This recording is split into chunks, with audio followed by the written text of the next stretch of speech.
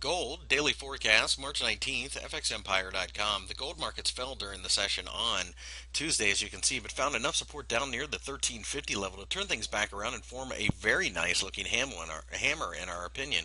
This hammer suggests that we are going higher, and as a result, we are buying on a break at the top of the hammer. We think that we're about to test 1400 again, which was the most recent resistance barrier, and we do believe that ultimately that barrier gets broken to the upside and we head towards the $1,500 level.